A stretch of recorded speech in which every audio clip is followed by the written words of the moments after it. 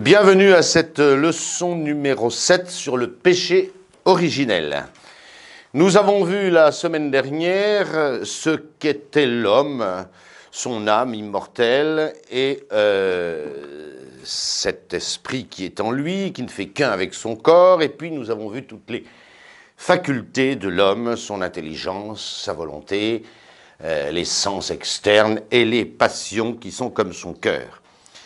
On voit aujourd'hui, avant de passer au grand mystère de l'incarnation et de la rédemption de nos âmes par notre Seigneur Jésus-Christ, nous voyons aujourd'hui le péché originel.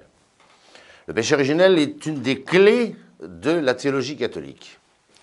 Euh, supprimer le péché originel, euh, mettez-le de côté, on ne comprend plus du tout les œuvres de Dieu. L'homme euh, doit être racheté, il y a une rédemption de l'homme, ce qui suppose que l'homme a été perdu, gâché, abîmé. Et tout le mal qui est dans le monde s'explique par ce péché de l'homme. Alors, il est impossible, impossible d'avancer dans les dogmes suivants, dans les vérités catholiques euh, qui vont suivre, si on ne comprend pas cet état dans lequel la rédemption trouve la nature. Et c'est notre leçon d'aujourd'hui.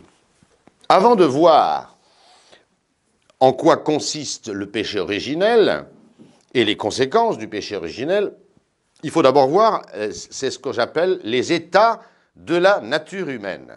Voilà. La nature humaine, nous l'avons à peu près définie, c'est cette substance unique composée d'une âme et d'un corps. Je n'y reviens pas, c'était notre leçon de la semaine dernière. Mais par contre, ce que nous n'avons pas vu, c'est les différents états dans lesquels peut se présenter cette nature humaine, et ceux qui ont existé, ceux qui sont théoriques, et puis l'état dans lequel la rédemption va venir chercher cette nature humaine blessée, abîmée par le péché originel. Il faudra également voir ce qui a été abîmé, ce qui a été détruit, ce qui a été laissé intact par ce péché originel. Et voilà pourquoi la première partie de ce cours, qui est un petit peu théorique, fait état, c'est le cas de le dire, des différents états de la nature humaine. Cette nature humaine, c'est l'âme et le corps et les facultés. Voilà ce que c'est que la nature humaine, formant une seule substance. Et on distingue cinq états possibles de la nature humaine, dont trois seulement ont existé. Vous me direz, mais pourquoi parler d'états de la nature humaine euh, qui n'ont pas existé? On perd notre temps, pas du tout. Parce que c'est en imaginant ces états de la nature humaine qui n'ont pas existé que nous arrivons à mieux comprendre ceux qui ont existé, les différences qu'il y a entre eux. Ce sont les deux premiers qui sont, j'allais dire, théoriques. Ils n'ont donc pas existé. Ils ne sont pas révélés, ils ne sont pas historiques, ces deux états de la nature humaine. Le premier état, nous l'appelons l'état de nature pure. Qu'est-ce que c'est que cet état théorique de nature pure? Ben, C'est la nature de l'homme, toujours la même, je n'y reviendrai pas à chaque fois, l'âme et le corps, et toutes leurs facultés. Les facultés, intelligence, volonté, les, les sens et les passions que nous avons énumérées. Alors c'est la nature à l'état brut, si je puis dire, l'état de nature pure. Il ne comporte pas les dons préternaturels, alors je ne peux pas tout dire d'un seul coup, nous allons voir ce que c'est que ces dons préternaturels. Il ne comporte pas la grâce. La grâce, c'est cette amitié avec Dieu. Donc l'état de nature pure, cet état théorique, c'est l'état de, la nature humaine, le corps et l'âme et ses facultés, mais aucun don préternaturel, pas la grâce de Dieu, évidemment sans la faute. C'est l'état, comme je l'appelle, de nature pure. Il n'y a que la nature. Un tel état n'a jamais existé. Nous le savons. Historiquement, Dieu a créé l'homme dans la grâce, dans l'amitié de Dieu, pas dans la vision béatifique. Hein. ne confondez pas, comme font les enfants, la grâce de Dieu et le ciel, le fait de voir Dieu. Adam et Ève n'ont pas été créés au ciel, sinon il n'y aurait pas eu de, péché originel. Mais ils étaient dans la faveur, dans la grâce, dans l'amitié de Dieu. Et puis, ils avaient les dons préternaturels. Donc cet état n'a jamais existé. Pourquoi alors parler de cet état? Bah, Parce qu'il faut voir ce que c'est que la nature brute. C'est un peu ce que pensent les, bah, ceux, qui n'admettent pas la théologie catholique. Dans quel état se trouve la nature humaine? Bah, Dans un état naturel. Voilà, naturel. On verra l'hérésie pélagienne, un, certain moine du, 4e siècle, 5e siècle, et euh, euh, qui prétend que l'homme est, bon. Est bon dans sa nature. Il n'a pas des dons spéciaux, mais s'il laisse aller sa nature, il fait le bien. Bon, ce n'est pas la théologie catholique. Premier état donc, la nature pure. Le deuxième état, c'est la nature intègre. Lui non plus n'a jamais existé. Ce serait la nature, la même, le corps, l'âme et leurs facultés, mais munis des dons préternaturels. Vous me direz, mais on n'a pas encore su ce que c'est. Vous ne nous avez pas dit ce que c'était que ces dons préternaturels. Je ne peux pas tout dire d'un seul coup. mais sans la grâce. Alors on va dire quand même, et, sans la faute. C'est-à-dire une nature, la nature humaine, mais rectifiée par les dons préternaturels. Voilà. Le deuxième chapitre, deuxième partie de ce cours, c'est précisément les dons naturels. On voit que la nature humaine a en elle-même un certain nombre de déficiences qui lui viennent de côté de la matière. Et que si on ne rectifie pas ces déficiences par les dons préternaturels, elle est très vulnérable. Elle est très faible. Alors on peut imaginer un état de la nature humaine sans la grâce, sans la faute, mais déjà rectifié par ces dons préternaturels. Je préfère les énumérer maintenant pour que mon discours soit à peu près euh, compréhensible. La nature humaine est mortelle. Nous le verrons. Un homme doit mourir. S'il ne mourrait pas, cet homme, c'est qu'il faut rectifier cette déficience. C'est l'immortalité. J'y reviendrai tout à l'heure. La nature humaine est passible. Ça souffre un homme. Si on veut que un homme laissé à lui-même ne souffre pas, il faut un autre don de Dieu, qu'on appellera l'impassibilité. Je laisse passer de côté, je laisse de côté la science, et puis on voit qu'un homme, l'harmonie qu'il y a entre un homme, et ça j'y reviendrai longuement, euh, n'est pas assurée. Le corps peut toujours se révolter contre les passions, les passions contre la volonté, la volonté contre l'intelligence, et même l'intelligence contre Dieu. Bon. Il faut régler cette nature humaine. On voit bien qu'elle est, est laissée à lui-même, on voit bien qu'elle est tiraillée dans tous les sens, à cause de sa complication. On imagine donc que Dieu aurait créé l'homme, mais un homme rectifié, un homme droit, eh bien cet état n'a jamais existé. Non pas que Dieu n'ait pas donné les dons préternaturels en créant Adam et Ève, mais qu'il leur avait donné bien plus que cela. Il leur avait donné sa grâce et son amitié. Voilà. Alors, ces deux états de nature pure et nature intègre sont des, des, des états qui n'ont pas existé, mais qui nous permettent de comprendre les trois suivants, qui, eux, par contre, ont existé. Le troisième état, c'est celui de la justice originelle, c'est-à-dire c'est l'état dans lequel Adam et Ève, tel que nous le rapporte la Genèse, ont été effectivement créés. Comment étaient Adam et Ève, le premier homme et la première femme? Eh bien évidemment, ils avaient la même nature que nous, ça, ça va sans dire, mais Dieu leur avait donné tout de suite, d'entrée de jeu, la grâce euh, sanctifiante, c'est-à-dire cette amitié, cette faveur dans laquelle ils vivaient avec Dieu. C'est très important. L'Écriture sainte nous le raconte d'une façon très belle, en disant que tous les soirs, à la brise du soir, c'est ce petit vent qui frais, qui, qui rafraîchit agréablement les soirées, eh bien, que faisaient Adam et Ève? Ils conversaient familièrement avec Dieu. Ils étaient les amis de Dieu. Et Dieu les avait dans sa faveur. C'est ça que nous appelons la grâce. Donc la justice originelle, c'est cette nature humaine. Et d'abord, elle a la grâce. Je dis d'abord, elle a la grâce. Cette amitié avec Dieu. Je l'ai déjà dit dans des cours précédents, Dieu fait tout pour sa grâce. On ne comprend rien aux œuvres de Dieu si on ne met pas la grâce, si je puis dire, en premier dans le plan de Dieu. Si Dieu crée des êtres spirituels, c'est-à-dire capables de recevoir sa grâce, c'est pour cette grâce qu'il le fait. C'est pas pour s'amuser. Hein. Euh, c'est pas Pinocchio, hein, un, petit peu de bois qu'on fait, bouger. Hein. C'est pour vivre avec Dieu, qui est la fin de l'homme. Quand on, connaît un petit peu le bon Dieu, on sait qu'il est comme ça. Il fait pour la grâce. Et c'est parce que Adam et Ève avaient la grâce sanctifiante, la faveur de Dieu, que Dieu les avait comblés également de ses dons préternaturels.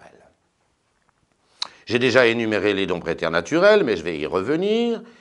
Euh, pourquoi les appelle-t-on préternaturels Praeter en latin, je parle à des latinistes qui étudient, et le latin, praeter, ça veut dire en dehors de, plus accusatif.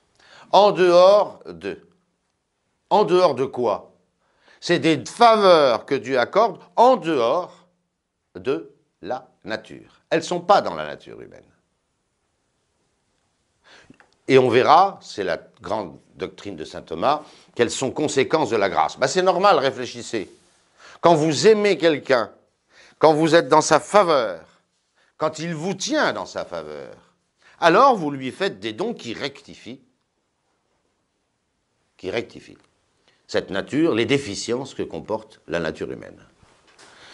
Justice originelle, c'est la nature, avec la grâce sanctifiante, l'amitié divine et les dons préternaturels. C'est en cet état, et sans la faute bien sûr, avant la faute, c'est en cet état que Dieu a créé Adam et Ève tel que nous le décrit la Genèse.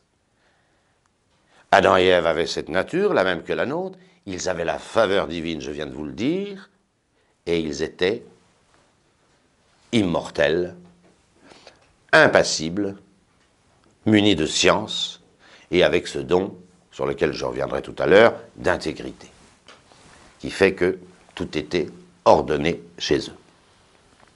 Alors l'état numéro C, le troisième, la justice originelle, c'est l'état dans lequel ont été créés Adam et Ève. Le quatrième état, alors c'est plus théorique maintenant, c'est des états historiques et réels de la nature humaine, c'est la nature déchue. C'est la nature d'Adam et Ève, mais après le péché de révolte contre Dieu. Qu'est-ce qui reste? La nature, bien sûr. Un homme sans nature, c'est pas un homme. Donc la nature reste, bien sûr. Mais elle est blessée, et nous verrons comment, c'est notre leçon. Elle est abîmée. Elle a perdu la grâce. Quand on fait un péché, on perd la grâce de Dieu. La grâce de Dieu, c'est l'amitié qu'on a avec Dieu, réciproque. Quand on offense gravement Dieu, on perd sa grâce. Et comme la grâce, j'aurai l'occasion de le redire, et le principe des dons naturels, ou, dit d'une autre manière, comme les dons préternaturels sont conséquences de la grâce, perdant la grâce, Adam et Ève perdaient les dons préternaturels. C'est-à-dire que dès le péché originel, il n'y a plus d'impassibilité, il n'y a plus d'immortalité, demeure le don de science parce qu'il est naturel, il fait partie de la nature, il s'intègre à la nature, et surtout, Adam et Ève perdent l'intégrité sur laquelle je reviendrai. C'est l'état de l'homme après la chute. Un, il a sa nature. Deux, elle est très abîmée. Trois, il a perdu la grâce. Quatre, il a perdu les dons préternaturels. Un état euh, catastrophique, disons le mot. Et cet état a existé. Et puis j'en ajoute un, cinquième, pardon, c'est la nature humaine restaurée. C'est cette même nature. Elle est toujours blessée par le péché originel, et nous verrons comment. Mais elle peut récupérer, par la rédemption, la grâce. Et récupérant la grâce, par la rédemption de notre Seigneur Jésus-Christ, elle ne récupère pas les dons, Elle ne récupère pas les dons. Je dirais tout à l'heure que les dons, hein, je le répéterai, ce sont des, c'est, un cadeau de, fiançailles de Dieu à la nature humaine. Hein. Voilà, c'est comme la bague de fiançailles. On veut épouser euh, une jeune fille, avant de l'épouser, on lui fait un très beau cadeau hein, pour lui prouver cet amour. Et ça ne se fait pas 36 euh, fois au cours de la vie, ça se fait une fois au moment des fiançailles. Voilà. Et par cette grâce récupérée, eh ben, la nature humaine va quand même se rectifier un petit peu, un peu. On verra dans quelle mesure. Voilà ces cinq états de la nature humaine. Deux qui n'ont pas existé, la nature pure, la nature intègre, la justice originelle, l'état dans lequel Adam et Ève ont été créés, l'état de la, de la nature humaine après la faute, et puis l'état de, la, nature humaine après la rédemption. Alors, nous avons beaucoup parlé, mentionné les, dons préternaturels, il bah, faut maintenant savoir ce qu'ils sont et euh, en quoi ils consistent. Et c'est très important, parce que c'est un vieux rêve de l'homme. À quoi rêvent les hommes? À quoi rêvent les hommes? Ils rêvent de retrouver ces dons préternaturels qu'ils ont eus. À quoi rêvent les hommes? Ils rêvent de ne pas souffrir. On est dans une société du bien-être, hein, pas de la santé, du bien-être. Si on était dans une société de la santé, il y a beaucoup de choses qu'on fait et qu'on ne ferait pas. Hein. Euh, enfin, je ne veux pas faire de morale, on est dans le dogme. Voilà. Euh, mais on est dans une société du bien-être. La plupart des médecins pensent qu'ils ne sont pas faits d'abord pour la santé et la vie, ils sont faits pour le bien-être. Bon. Pas de souffrance. Ne pas souffrir, ne pas mourir, c'est la devise des hommes. La Fontaine. Les hommes ne veulent pas mourir. S'ils pouvaient ne pas mourir, ils ne mourraient pas. Et ils travaillent à essayer de rendre l'homme impassible et immortel. C'est comme ça. C'est une vieille nostalgie de l'état dans lequel nous avons été créés. Et si je puis dire, ça nous colle à la peau de ne pas vouloir souffrir et de ne pas vouloir mourir. La science, regardez comme la science fascine. La science. C'est les vieux rêves. L'homme a été créé comme ça. Il rêve de retrouver l'état dans lequel il a été créé. Pas de souffrance, pas de mort et la science. On verra que c'est, la, c'est l'occasion, la science, du péché originel. Et puis l'intégrité, mais ça, l'intégrité, les hommes la recherchent un peu moins. Parce qu'ils ne voient pas ce que c'est. Sinon, sinon, ils, la rechercheraient aussi. Alors, qu'est-ce que nous appelons les dons préternaturels? J'ai déjà dit que c'était des dons qui étaient en dehors et donc surrajoutés à la nature de l'homme. Ce sont quatre faveurs, des cadeaux, des cadeaux, des cadeaux de Dieu. Quatre faveurs que Dieu avait données à nos premiers parents comme conséquence de la grâce. C'est parce qu'ils étaient en amitié avec Dieu que Dieu avait donné à Adam et Ève ces quatre prérogatives, ces quatre dons pour améliorer encore leur création, la nature humaine. Comme ces dons étaient conséquences de la grâce, j'ai pris l'exemple d'un fiancé qui aime sa fiancée et qui, pour lui, lui prouver, lui fait un cadeau de fiançailles, c'est donc l'amour de ce jeune homme qui fait qu'il offre une bague. Si cet amour disparaît, ben on rend la bague. Hein. Je suis désolé, on ne garde pas la bague. Euh, si, une fiancée trahit son, son fiancé, eh ben, le fiancé reprendra la bague. C'est normal. Hein? Comme c'est la preuve de l'amour, s'il n'y a plus d'amour, ben, on enlève la preuve. C'est normal.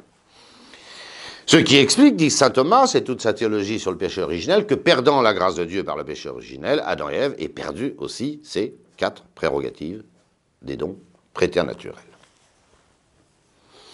Alors on les énumère très rapidement. C'est 1. L'impassibilité, 2. L'immortalité, 3. La science, 4. L'intégrité. Disons un mot sur chacun d'eux pour mieux les comprendre. Adam et Ève ignoraient la souffrance, de quelque ordre que ce fût, et ceci par une providence spéciale.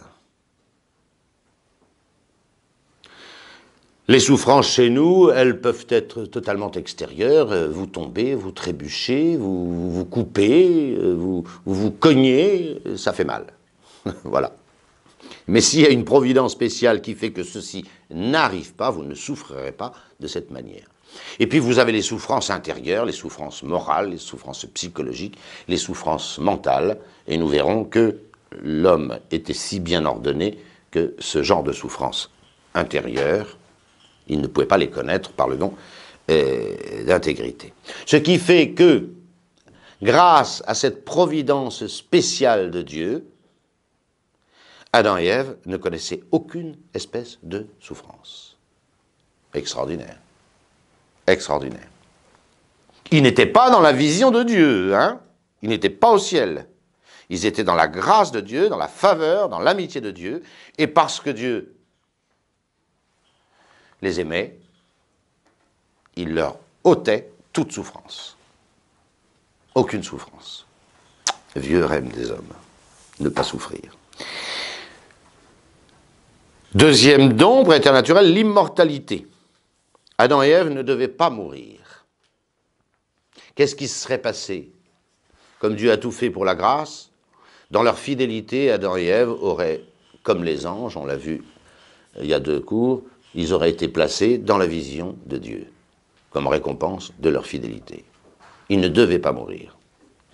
Mais c'est un don spécial que de ne pas mourir, parce que la nature humaine, de soi, elle souffre, Dieu l'avait rectifié par le don d'impassibilité, et de soi, elle finit par s'user et se déliter, se rompre, si je puis dire, par l'entremise du corps. Et s'il y avait une immortalité, c'était une faveur spéciale de Dieu. Et on le voit dans toute la Sainte Écriture parce que, à chaque fois que la Sainte Écriture parle de la mort, elle dit que la mort est entrée par le péché. Livre de la sagesse en particulier. C'est par le péché que la mort est entrée dans le monde. S'il n'y avait donc pas eu de péché, la mort ne serait pas venue. Ça veut dire qu'avant le péché, Adam et Ève étaient immortels immortel. Ce qui vous explique, soit dit en, passant, que euh, la longévité des anciens, on Mathusalem, euh, je crois que c'est 965 ans, il y avait dans la nature humaine quelque chose qui faisait qu'elle n'était pas mortelle. Et c'est le péché originel qui a introduit la mort. Je suis en catéchisme, je suis un peu en théologie, mais quand même, c'est très intéressant de constater que les scientifiques modernes savent maintenant que le, vieillissement de l'homme est programmé dans l'ADN. Hein. Ce qui fait que si, cette chose était déprogrammée, l'homme ne vieillirait plus et conséquemment pourrait ne pas mourir. D'ailleurs, c'est ce qu'on essaye encore en train de faire en ce moment. C'est de rendre l'homme impassible et de rendre l'homme immortel. Que les hommes y arrivent ou pas, c'est une autre question scientifique qui ne me regarde pas, mais on voit bien qu'il est possible que Dieu, et Dieu est tout-puissant, hein, il est tout à fait possible que Dieu puisse créer un homme et en le comblant de ses dons préternaturels, le rendre impassible et immortel. En tous les cas, c'est ce que nous dit la Sainte Écriture. Adam et Ève étaient impassibles et immortels. Le don de science, lui, le troisième, euh, est totalement naturel, si je puis dire. Adam et Ève ont été créés à l'âge adulte. Quand Dieu leur a donné cet esprit qui fait qu'ils sont des hommes, avec euh, la raison, l'intelligence, ils sont adultes. Ils ne sont pas nés comme les autres de, leurs parents. Voilà. Euh, la science, ça s'acquiert. Qu'est-ce qui fait qu'un enfant, petit à petit, apprend à parler, à compter, à réfléchir euh, bah, C'est parce qu'il entend les autres lui parler, et c'est parce qu'il se forme des concepts. Mais imaginez que vous soyez brusquement créé à l'âge adulte, euh, votre intelligence serait incapable de fonctionner. Incapable. Le langage, ça s'apprend. Et même les philosophes ont, admis que le, langage ne pouvait pas être une invention de l'homme au fur et à mesure. Parce qu'il se reçoit d'homme à homme. Ce don de science, c'est un capital intellectuel donné par Dieu directement à Adam et Ève d'entrée de jeu. Ça ne présente pas un intérêt euh, considérable, mais c'était indispensable pour eux, bien sûr. Et saint Thomas pense que c'est le seul don qui ne se serait pas transmis aux enfants d'Adam et Ève, c'est-à-dire à nous, parce qu'il n'y en avait pas besoin. Il n'y en aurait pas eu besoin. Les autres dons se seraient transmis en l'absence du péché originel, le don d'invincibilité, le don d'immortalité et surtout le don d'intégrité, mais pas besoin d'une transmission du don de science. Pourquoi? Bah, Parce qu'Adam et Ève étaient aptes, alors eux-mêmes, à apprendre les choses nécessaires à la vie à leurs enfants. Si un enfant se met à parler un jour, c'est qu'il entend son, sa mère, son père, et, parler. Petit à petit, il, se forme un langage, il se forme des concepts, et, nous avons tous euh, fonctionné comme ça dans notre enfance. Voilà. Donc c'est pas le don le plus, euh, c'est pas le don le plus, le plus, le plus prestigieux. Hein, la, science, c'est une mise en route de la nature humaine, mais indispensable par contre, indispensable. On voit bien que dans la, dans la Genèse, c'est très intéressant. Euh, Adam et Ève font venir tous les animaux et ils leur donnent un nom. C'est eux qui nomment les animaux parce qu'ils savent d'entrée de jeu ce qu'est chacun des animaux. Chacun des, animaux. Leur, les définissent en leur donnant un nom. Ils leur donnent leur nature intime, profonde. C'est d'ailleurs à la suite de cette revue racontée merveilleusement par le livre de la Genèse qu'ils s'aperçoivent que tous les animaux, euh, c'est Adam qui fait ça d'ailleurs, tout seul, c'est avant la création d'Ève, hein, pardon. Eh bien, euh, il s'aperçoit qu'ils sont tous deux par deux, mâles et femelles, et c'est là que Adam dit, euh, très déçu, très, très, très peiné, c'est avant le péché originel, il dit, mais je ne trouve personne qui me soit semblable. Et c'est là que Dieu répond, il n'est pas bon que l'homme soit seul, euh, créons-lui une euh, auxilium simile sibi, hein, une, aide qui lui soit semblable, qui soit... Et quand Ève a créé, Adam constate que c'est la chair de sa chair et les autres ses os. C'est magnifiquement raconté, magnifiquement. Et puis nous arrivons au dernier des dons, le moins connu et certainement le plus étonnant. C'est le don d'intégrité. Le don d'intégrité. C'est la bonne ordonnance, je vais le marquer au tableau, c'est la bonne ordonnance des facultés de l'âme, de l'homme. Nous voyons bien, nous, que nous sommes euh, travaillés de toutes sortes de tiraillements. C'est clair. Nos passions sont bonnes, et si on les laisse aller, ça devient mauvais. Notre corps est bon, mais des fois c'est lui qui nous commande, au lieu que ce soit nous qui lui commandions. Notre volonté est une capacité d'aimer merveilleuse, mais de temps en temps, hein, elle, euh, elle, elle, se la joue cavalier seul et n'obéit plus à l'intelligence. Quant, à notre intelligence, ben, c'est très dur de la manipuler. Il faut des années et des années pour arriver. On est mal fichu. Je vais y revenir, c'est la conséquence du péché originel. Mais il y a dans la nature humaine elle-même une capacité de désordre que Dieu avait rectifié par ce don d'intégrité. Alors, pour que ce soit plus clair, on va faire un tout petit schéma. Qu'est-ce que c'est que l'ordre d'un homme? Comment marche un homme qui est vraiment dans l'ordre? Ben, Qu'est-ce qu'il doit commander au reste? C'est évidemment la plus grande de ses facultés, l'intelligence. Cette capacité du connaître spirituel qui est la plus grande faculté de l'homme.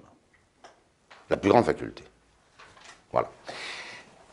Et puis, il y a une deuxième faculté spirituelle, on l'a vu la semaine dernière, c'est la volonté de l'homme. Ça, c'est la capacité du connaître, et ça, c'est la capacité de l'aimer. Et nous l'avons vu très bien la, semaine dernière, ces deux choses-là sont spirituelles chez l'homme. C'est l'esprit. C'est l'esprit qui est là. Il est bien évident, il est bien évident qu'un homme ordonné, sa volonté devra obéir et se soumettre à l'intelligence. Il y a un désordre foncier, un des plus graves de la nature humaine, quand je sais ce qu'il faut faire, mais ma volonté veut faire autre chose. Ça, c'est un grand désordre. la volonté, puisque c'est la faculté de, l'amour spirituel, elle doit commander les passions et non pas l'inverse. C'est bien d'avoir des passions. Hein. J'ai comparé ça la semaine dernière à un cheval de Camargue qui, est puissant, qui est courageux, qui est jeune, qui est dynamique, etc. Mais enfin, il faut quand même le tenir. C'est au cavalier de tenir son, cheval. Hein. c'est un mauvais cavalier, c'est un cavalier qui, se fait conduire par son cheval. Ça va d'ailleurs finir très mal. Hein. Et puis les passions, c'est elles qui doivent commander le corps.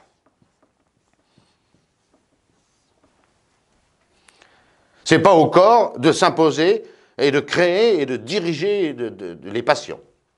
C'est pas aux passions d'imposer leur loi à la volonté. La volonté n'a pas le droit d'imposer son, déterminisme, son, hein, ses, choix contre l'intelligence. Mais seulement, seulement, la nature humaine, si vous la laissez à elle-même, comme ça, toute seule, eh ben, elle aura tendance, justement, à créer ce désordre. Et on le voit bien. Regardez comment, vivent les hommes. On a l'impression qu'ils sont agités par leur corps, c'est leur corps qui, qui, les démange, qui, suscite des passions, euh, voilà. Les passions, ils pourraient les tenir. Pas du tout. Elles s'imposent continuellement à la volonté. Ils ne font que, euh, euh, qu'exciter cette volonté, puis la, détruire, elle ne commande plus. Et puis on voit bien que la volonté, hein, euh, au lieu de, se régler par l'intelligence, ben, elle part elle-même en tous sens.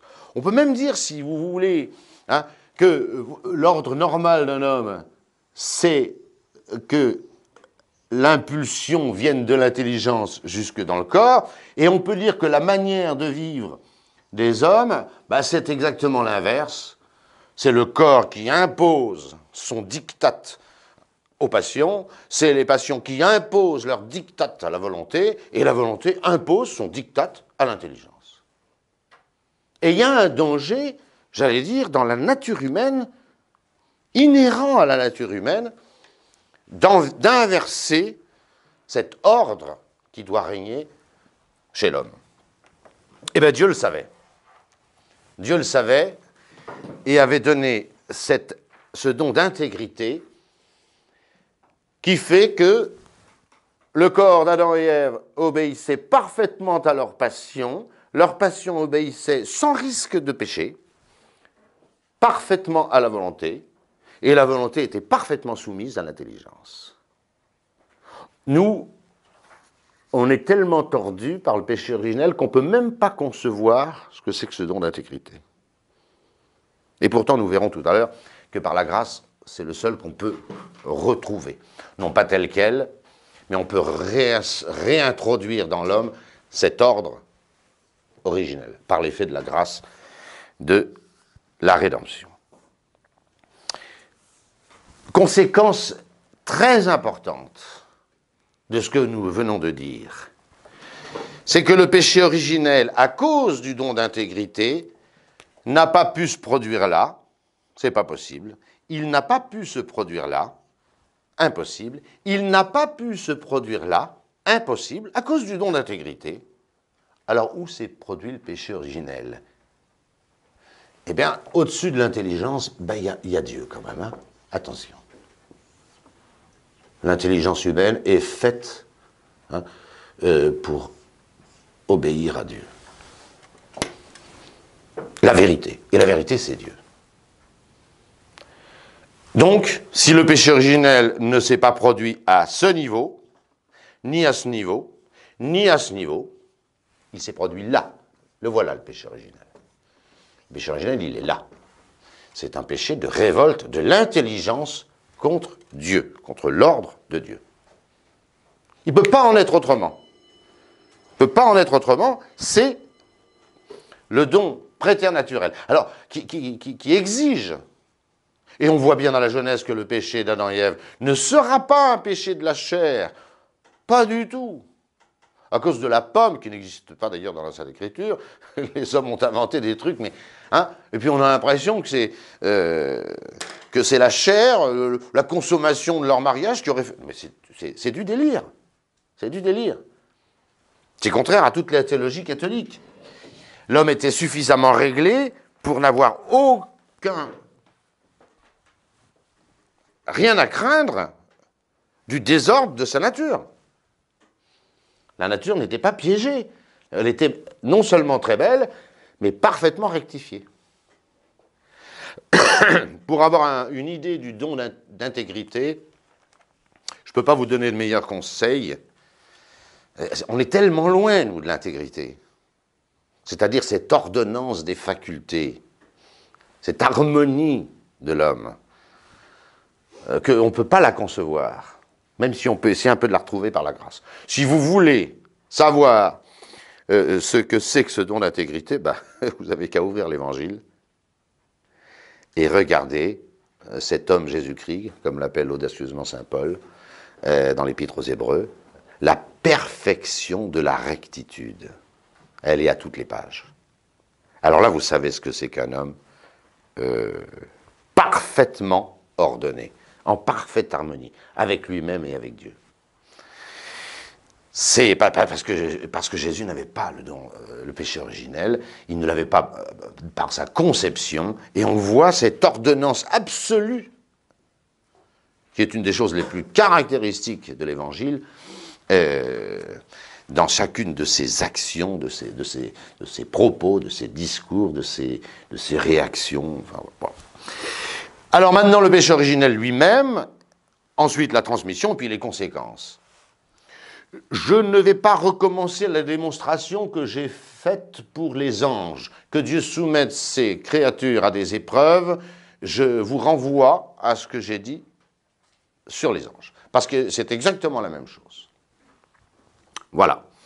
Dieu ne soumet absolument personne à la tentation, c'est un blasphème d'affirmer ça, mais il soumet à des épreuves. Voilà. Je n'y reviens pas parce que j'ai longuement insisté là-dessus dans la leçon sur les anges. Alors, quelle fut cette épreuve d'Adam et Ève? Magnifiquement racontée, triste évidemment, mais magnifiquement racontée dans le livre de la Genèse. Alors attention, on prend l'histoire de la Genèse, le récit de la Genèse, et on va en tirer toute la théologie. L'histoire d'abord, et après, qu'est-ce que ça signifie? Voilà.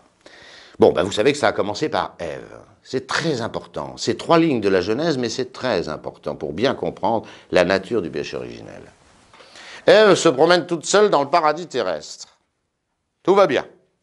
Elle est heureuse, il y a des fruits magnifiques partout, et euh, elle n'a pas de tentation. Comment voulez-vous qu'elle ait des tentations? Tout est réglé chez chez, Ève. Son corps obéit à ses passions, ses passions obéissent à sa volonté, sa volonté obéit à son intelligence, et son intelligence obéit à Dieu. Et vous allez voir, tout ça est parfaitement réglé. Voilà. Elle est accostée par le serpent infernal, le diable, qui prend la forme d'un serpent pourquoi les serpents nous font toujours une peur immédiate. Bon, c'est un animal comme les autres, le serpent, hein, mais parce que euh, l'écriture nous euh, a toujours symbolisé euh, par cet animal le diable, évidemment, un serpent nous fait peur.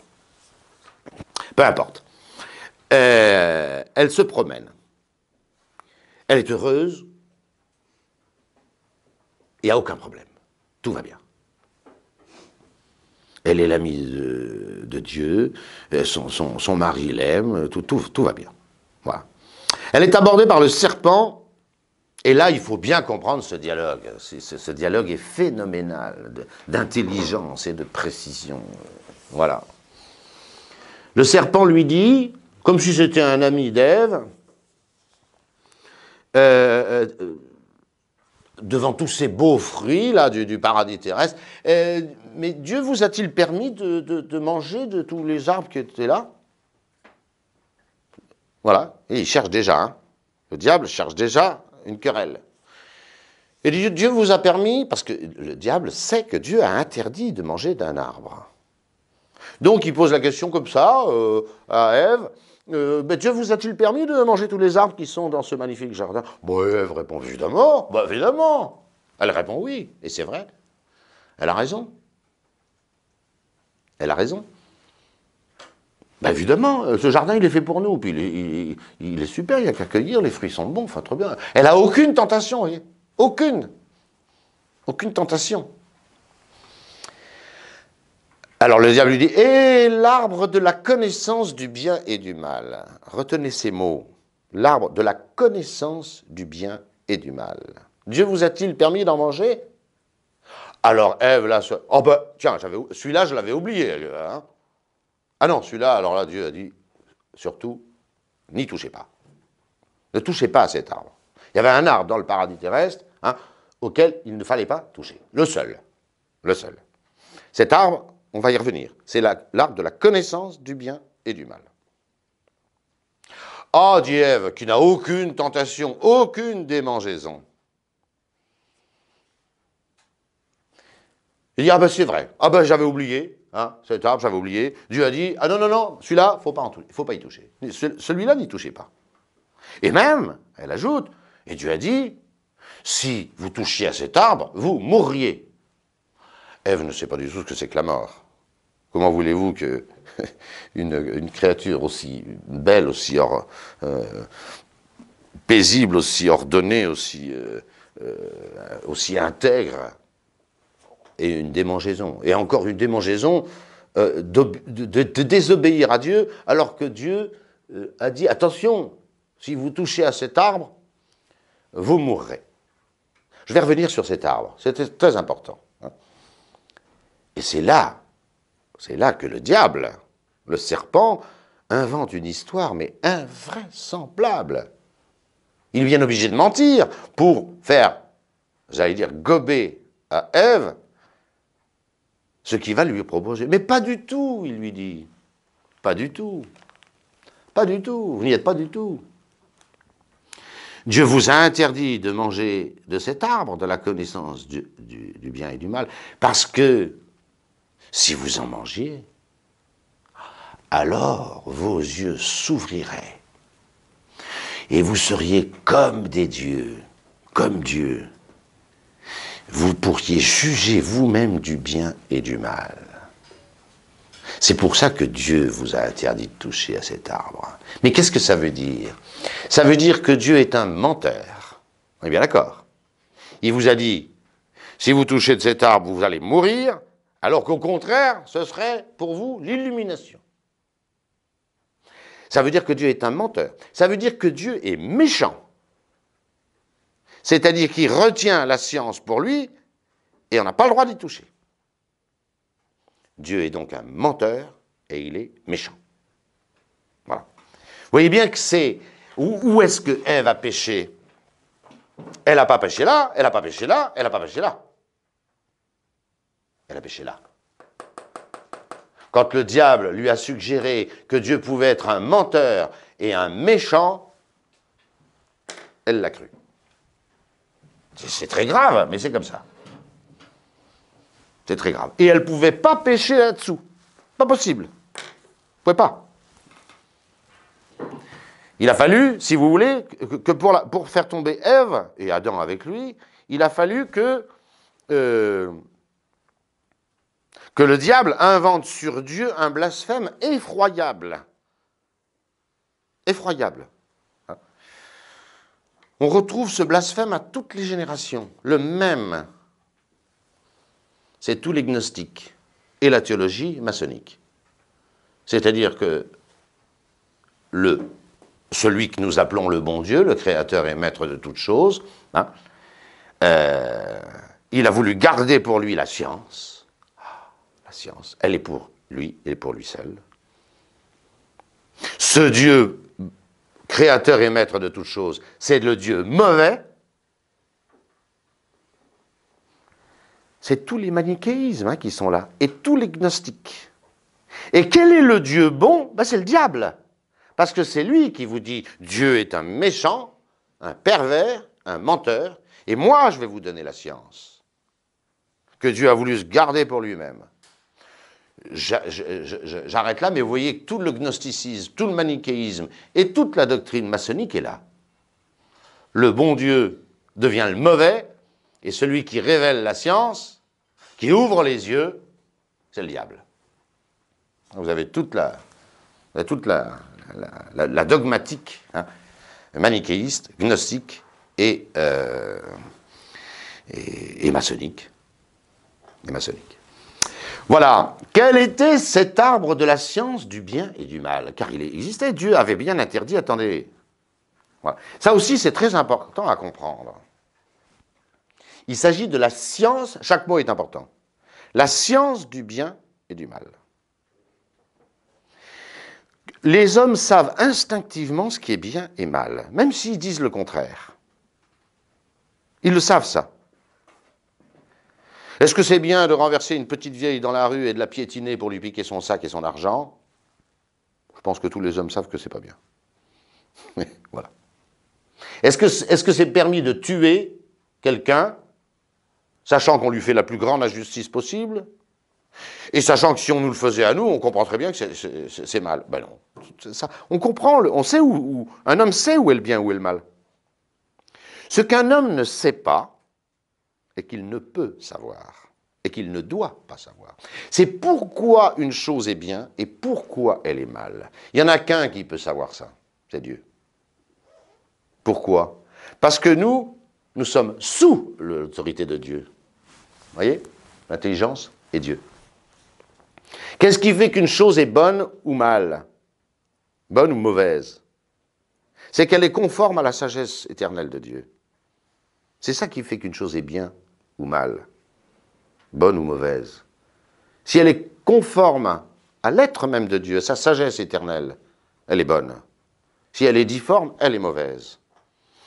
Vous comprenez bien que savoir pourquoi une chose est bonne ou mauvaise, il n'y a que Dieu vraiment qui le sait. C'est une science inaccessible à l'homme. Ça ne veut pas dire que l'homme ne sache pas ce qui est bien et ce qui est mal, mais il n'a pas le pourquoi de ce bien et de ce mal. Un homme, pour faire le bien, il faut qu'il soit soumis à Dieu. Et s'il est insoumis à Dieu, il fait le mal. Mais il n'a pas la clé et il ne doit pas la chercher. Je vous prends un petit exemple, c'est très important cette leçon sur le péché originel. Très important. Prenez par exemple un jeune homme de 15 ans qui n'a jamais touché à la drogue. Bon. Il ne sait pas ce que c'est que la drogue. On lui a dit la drogue c'est mauvais. Si tu te shootes à l'héroïne, à 35 ans tu seras mort. Et puis euh, c'est épouvantable. Bon, je me suis occupé quelquefois de, drogués. Je ne parle pas des petits jeunes gens qui fument un petit pétard de temps en temps, mais des vrais drogués qui se piquent avec 2 hein, grammes d'héroïne euh, par jour. Bon. Je parle de celui qui n'a pas touché à cela. Alors ses amis peuvent lui dire, mais tu sais, tu devrais y goûter, c'est délicieux, c'est bon, c'est extraordinaire, tu, vas te retrouver dans un état euphorique, etc. C'est un, peu, ça le péché originel. Hein.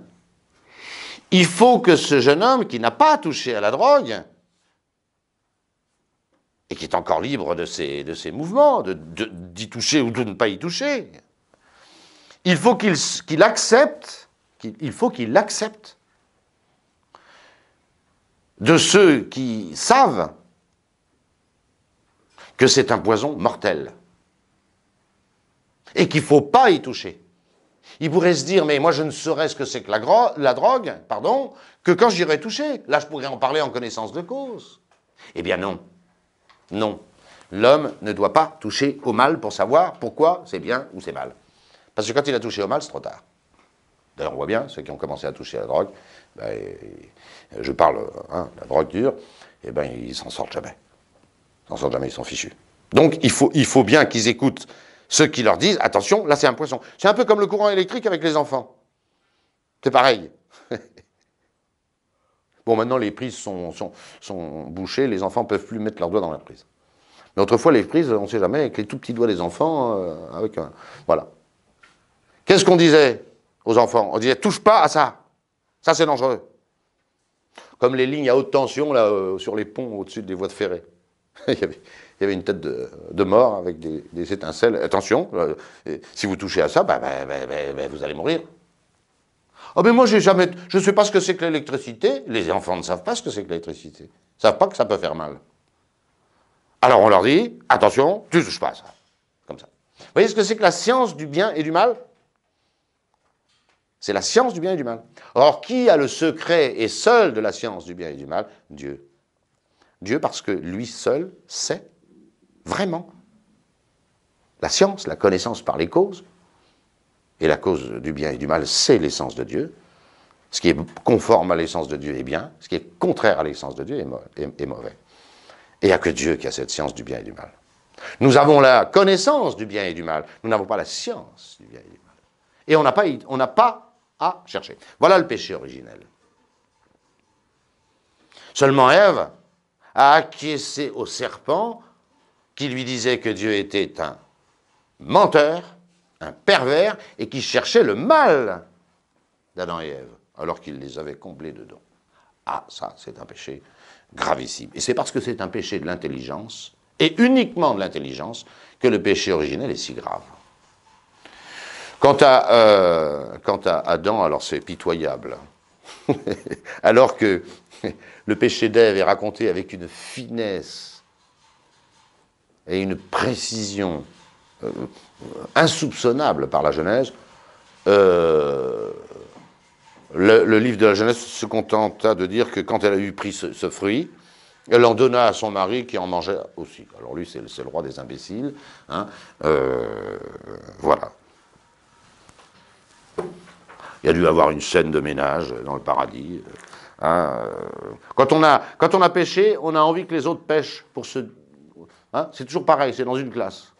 Quand la maîtresse tombe sur un élève qui, chahute, ah ben lui aussi. c'est pas une excuse. Mais c'est très humain. Euh, voilà. Quand on est dans le mal, on aime bien que tout le monde y soit, comme ça, on est moins. On, se sentirait moins coupable si tout le monde fait le mal. On sent. Bon. C'est affligeant, mais c'est comme ça. Évidemment que ce péché est gravissime. Attendez, le désordre qu'il y a partout dans le monde, d'où vient-il? Le mal qu'il y a dans le monde. On nous pose sans arrêt la question, mais d'où vient le mal? Il vient de là, le mal. Et uniquement de là. Adam et Ève étaient les rois de la création. Terra armaotem dedit filiis hominum. La terre, Dieu l'a donnée aux enfants des hommes. C'est notre... Avec tout ce qu'elle comporte de beau. On a... Euh, euh, euh, le, roi de la création a dévissé, toute la création est perturbée. C'est normal. Comment voulez-vous qu'il en soit autrement?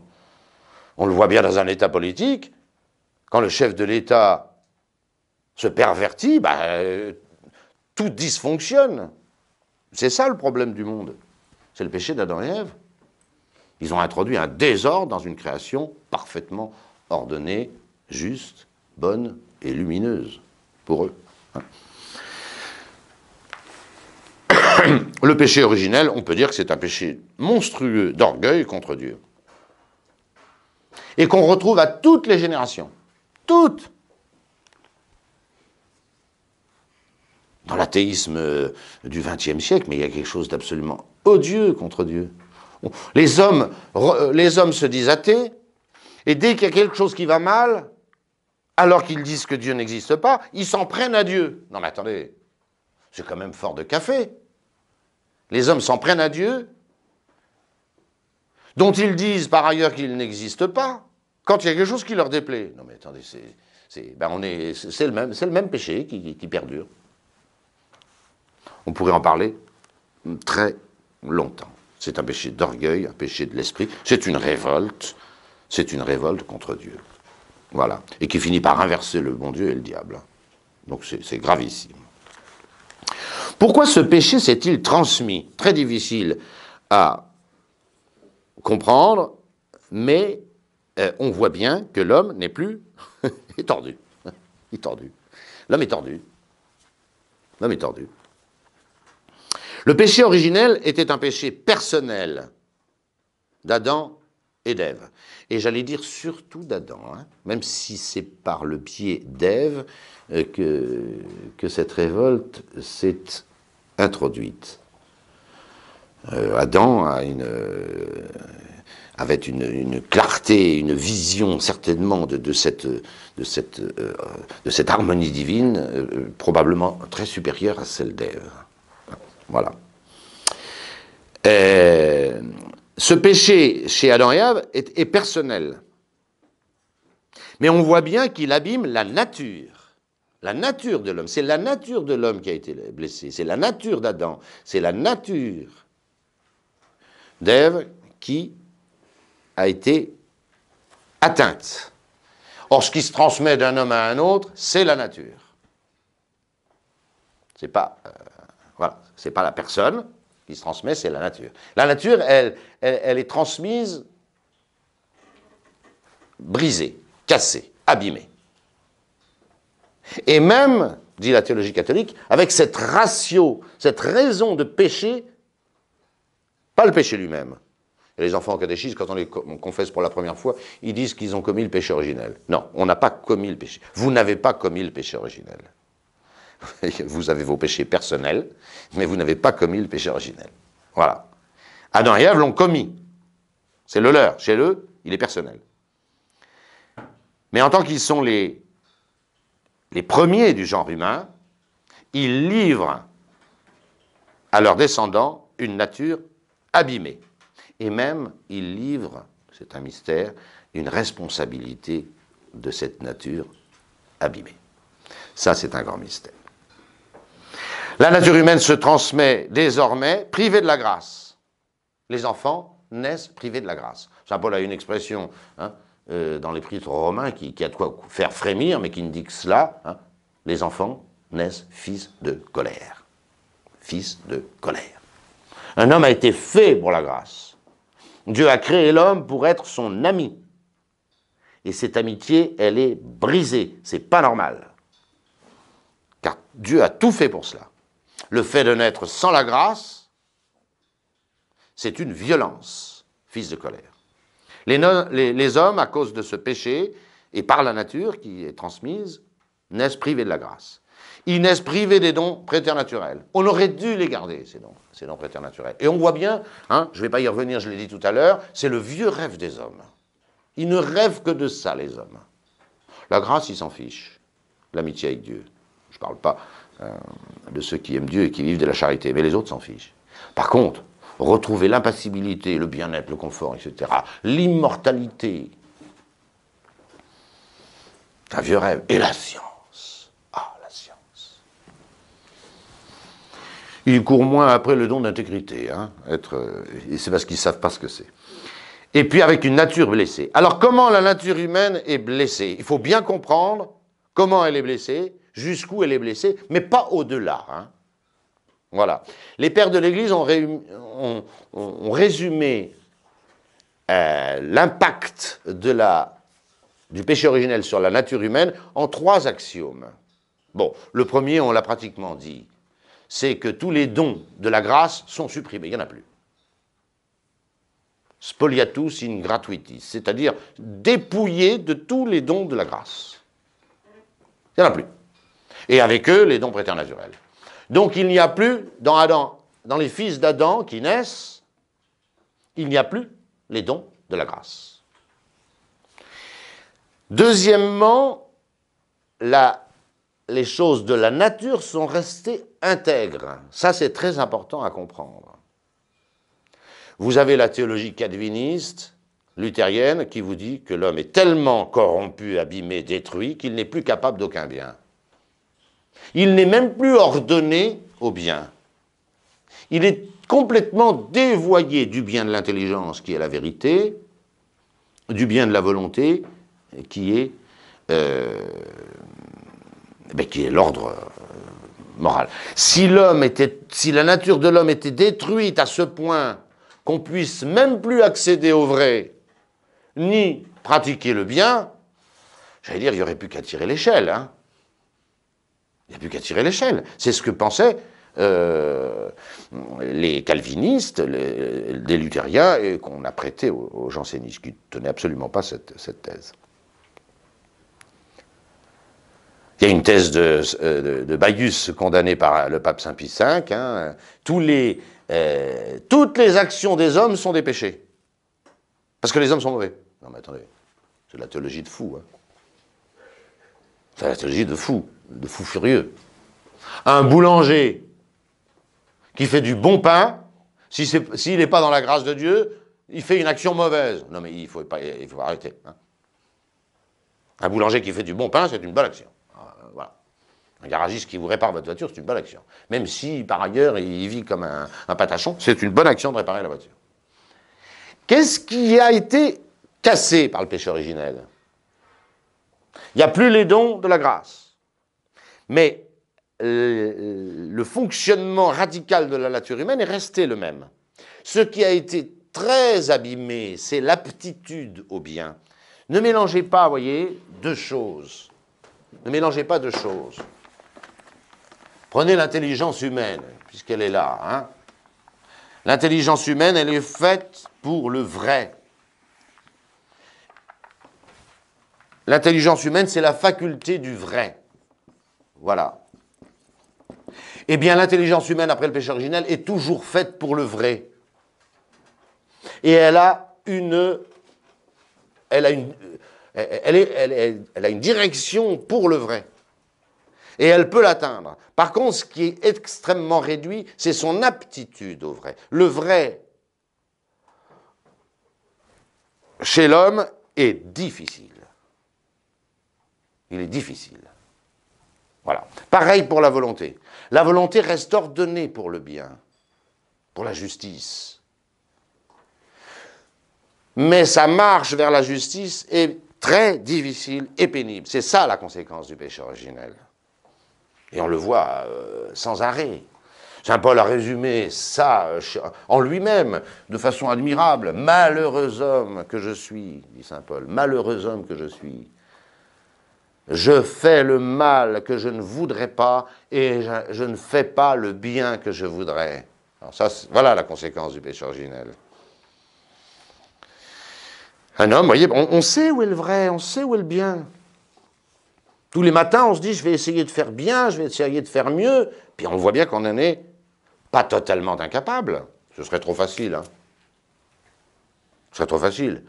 Parce que c'est facile de dire l'homme n'est plus capable d'aucun bien. C'est pas la peine que je fasse un effort. Ça, c'est pratique, hein, c'est une manière de s'en tirer. Euh, vous savez, la nature humaine est tellement corrompue hein, qu'elle est capable d'aucun bien. Non, non. C'est l'aptitude au bien qui est difficile. C'est l'aptitude au bien. Voilà. Et c'est ce que euh, on résume dans ces trois axiomes. Je les rappelle. Euh, l'homme a été privé de tous les biens de la grâce. Deuxièmement, la nature est restée quand même ordonnée au vrai et au bien, mais cette aptitude au vrai et au bien sont réduites à peu, de choses.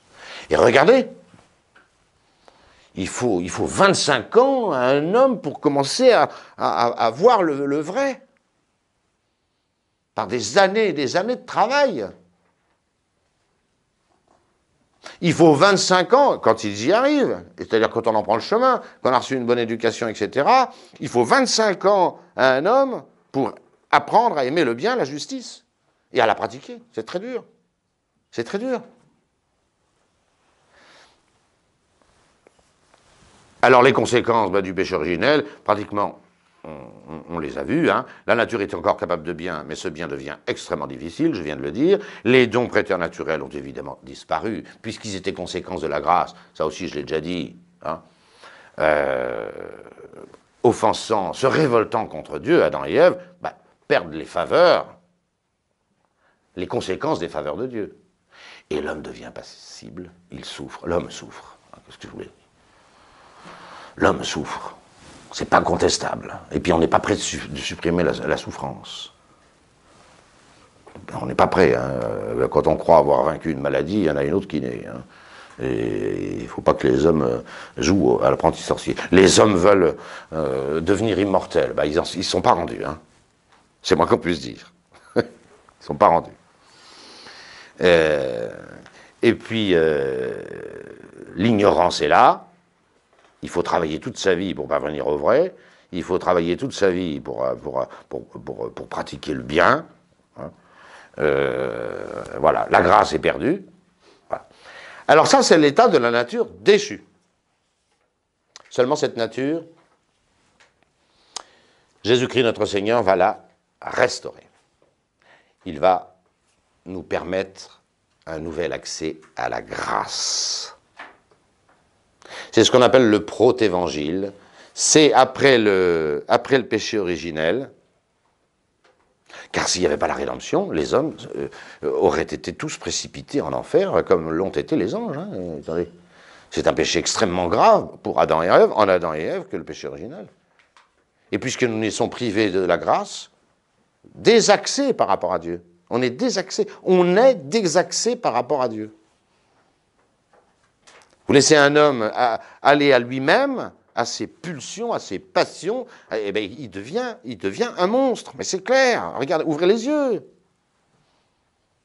En permanence sur la surface du globe, il y a euh, une, cinquantaine de guerres et de, terribles où les hommes se déchirent. Ils sont mauvais, les hommes.